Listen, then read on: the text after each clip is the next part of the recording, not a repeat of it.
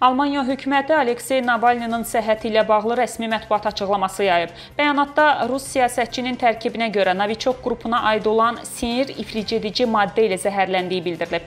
Navalninin orqanizmində zəhər izlərinin olması müxalifətçinin yerləşdirildiyi Charité klinikasının həkimlərinin istəyi ilə Almaniya Silahlı Qüvvələri xüsusi laboratoriyası tərəfindən aparılan testlərlə təsdiqlənib. Aleksey Navalni Rusiyada kimyəvi hücumun qurbanı olub deyə açıqlamada qeyd olunub. Omsk şəhərinin bir nömrəli təcili yardım xəstəxanasının baş həkiminin müavini Anatoli Kalnichenko Navalninin analizlərində heç bir zəhər tapılmadığını açıqlamışdı.